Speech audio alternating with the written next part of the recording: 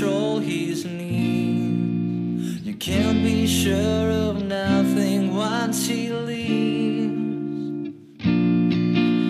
So don't.